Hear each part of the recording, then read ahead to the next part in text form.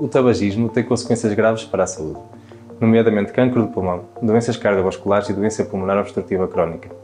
Aumenta também o risco de infecções respiratórias e problemas durante a gravidez. A cessação tabagista traz benefícios imediatos e a longo prazo. Por exemplo, a frequência cardíaca e a pressão arterial diminuem dentro de 20 minutos após o último cigarro.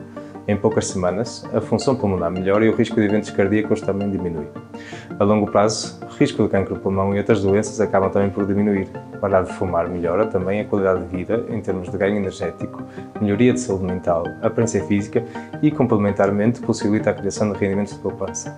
Uma consulta de cessação tabagista é estruturada de forma a proporcionar um apoio abrangente ao fumador. A primeira etapa é uma avaliação inicial para determinar o nível de dependência da nicotina e entender o histórico de tabagismo da pessoa.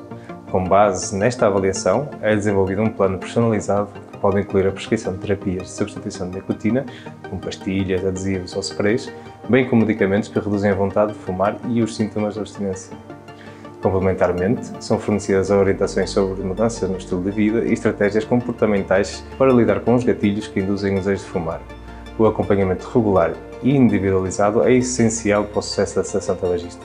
Consultas de seguimento são agendadas para monitorizar o progresso, ajustar o tratamento e fornecer apoio contínuo à pessoa.